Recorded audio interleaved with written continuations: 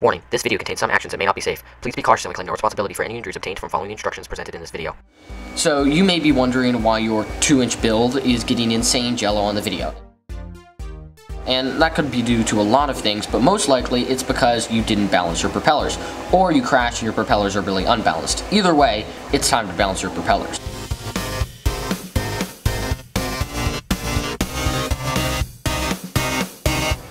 So for larger propellers, you usually use a prop balancer like this one. This one is like a $2 one from eBay. It's actually pretty cool. It uses some magnets to levitate um, this little wheel thing here, but we won't be using this today. And the reason why I'm making a video on specifically microquad prop balancing is because it's a little different, and it took me a while to find out the best way to do it, but I finally found the way. So for this, you're literally gonna need props, tack, tape.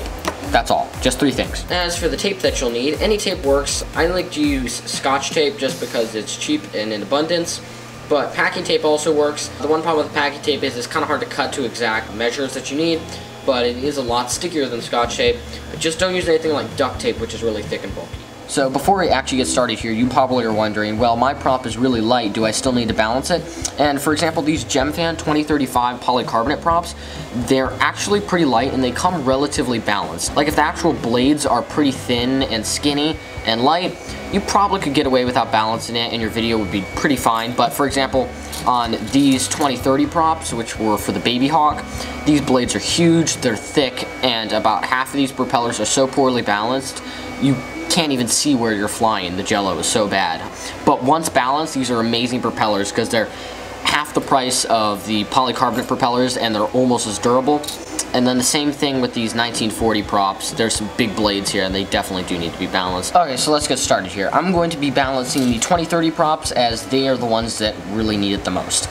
So set these props aside. And for this, let's grab our tape and cut a semi-long strip of it. And then cut one more strip because one strip we'll be using as tape we actually tape to the propellers and one we'll use to actually tape our tack down. Just grab like a cardboard box or the edge of a table and what you essentially want to do is just get the tack so that it's sticking out like that relatively level and tape that down. Just stick your propeller on and make sure that it actually can spin freely, like your tack isn't coated with some glue or you didn't have to force it on there. So what you want to do is just tap the propeller and find which blade wants to sink to the bottom.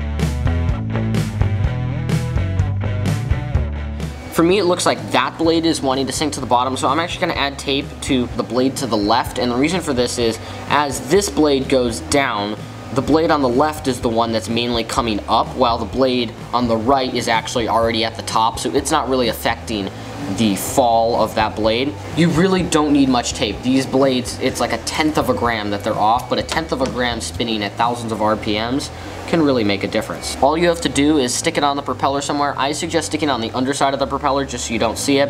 I would suggest trying to avoid like getting it around the edge of the blade here just because it will eventually fall off. So just kind of on the bottom just like that.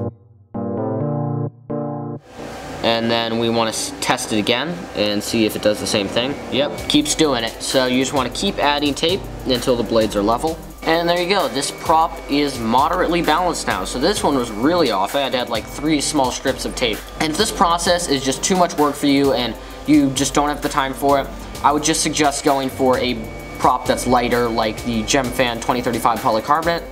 So now you guys know how to balance microquad propellers. Hope you guys enjoyed this video. Make sure to give us a like, subscribe, and see you next time.